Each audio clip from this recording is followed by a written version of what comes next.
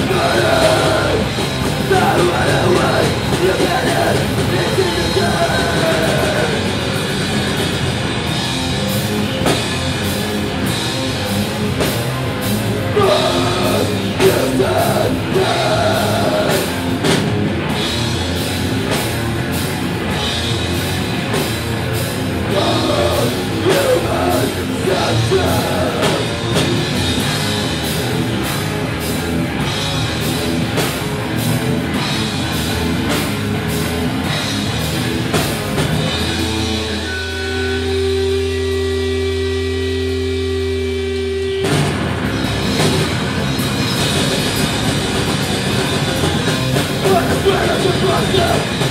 out in the blood